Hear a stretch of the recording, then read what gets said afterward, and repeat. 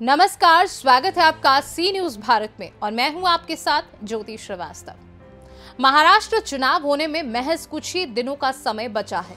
चुनाव में जीत सुनिश्चित करने के लिए सभी दलों ने अपनी पूरी ताकत झोंक दी है। यहाँ पर बीजेपी, शिवसेना, एनसीपी वाला गठबंधन महायुति और कांग्रेस, एनसीपी, शिवसेना वाला एमवीए गठबंधन प्रमुख रूप से चुनावी मैदान में है। बीजेपी की ओर से पीएम नरेंद्र मोदी, गृह मंत्री अमित शाह, केंद्रीय मंत्री राजनाथ सिंह, शिवराज सिंह चौहान जैसे कई दिग्गज लोगों के बीच पहुँचे। बीजेपी शासित राज्यों से मुख्यमंत्री जैसे योगी आदित्यनाथ, मोहन यादव, हिमंता बिस्वा शर्मा आदि प्रमुख रूप से राज्य में प्रचार कर रहे हैं और जनता को लुभाने की कोशिश कर रहे हैं। वहीं बीजेपी ने इस बार मुखर होकर धर्म का मुद्दा उठाया है, जहाँ महायुति बीजेपी के साथ बटेंगे तो कटेंगे का एजेंडा जनता तक पहुँचाने में लगी है।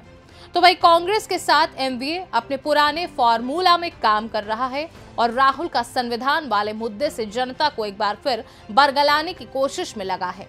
देखिए हमारी ये खास रिपोर्ट। जैसे जैसे चुनाव की तारीख नज़दीक आ रही है वैसे वैसे राजनीतिक दल अपनी रणनीतिक धार को तेज करने में लगे हैं। वहीं बीजेपी ने इस बार एमवीए के प्रमुख घटक शिवसेना को ज़्यादा निशाने पर लिया है।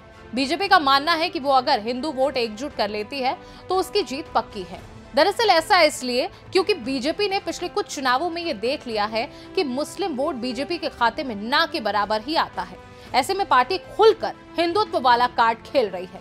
इसी के चलते आपने योगी आदित्यनाथ को रैली के दौरान बटेंगे तो कटेंगे का नारा देते हुए देखा होगा। वो जहाँ भी चुनावी रैली कर रहे हैं, इसी नारे को दोहरा रहे हैं। आपको बता दें कि राज्य में ग्यारह दशमलव चौबीस करोड़ की कुल आबादी में ग्यारह प्रतिशत मुस्लिम आबादी है। आंकड़े बताते हैं कि राज्य की कुल 288 सीटों में से 38 सीटों पर मुस्लिम वोटर्स का सीधा असर है। इन सीटों पर मुस्लिम आबादी 20 फ़ीसदी से ज़्यादा है। राज्य की नौ सीटें ऐसी हैं जहाँ पर 40 फ़ीसदी से ज़्यादा मुस्लिम वोटर्स हैं। मालेगांव में अठहत्तर दशमलव चार फ़ीसदी मुस्लिम आबादी है। मुंबा देवी में पचास दशमलव नौ फ़ीसदी भिवंडी वेस्ट में उनचास दशमलव पाँच फ़ीसदी, अमरावती में छियालीस दशमलव पाँच फ़ीसदी, कोला वेस्ट में इकतालीस दशमलव छह फ़ीसदी मुस्लिम आबादी है। ऐसे में अब स्थिति साफ़ हो गई है कि राज्य की मुस्लिम आबादी कितनी है और बीजेपी कितनी सीटों पर पकड़ रखती है। ऐसे में बीजेपी का हिंदुत्व कार्ड खेलने का मकसद साफ़ समझ आता है। उधर एमवीए के लिए अब चुनाव से ठीक पहले ऑल इंडिया ओलेमा बोर्ड की मांग कहीं मुसीबत न बन जाए।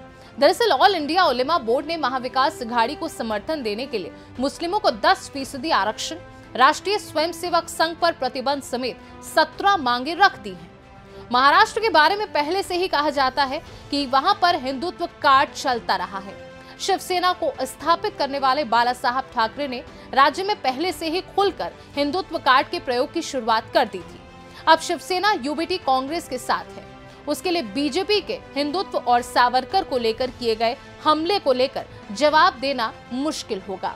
बीजेपी प्रचार के बचे हुए दिनों में इस मुद्दे को और गरमाने के मूड में है। अब इसका कितना फ़ायदा उसे मिलता है, ये देखने वाली बात होगी। फ़िलहाल इस खास रिपोर्ट में बस इतना ही। देश और दुनिया की बाकी खबरों को जानने के लिए आप देखते रहिए सी न्यूज़ भारत।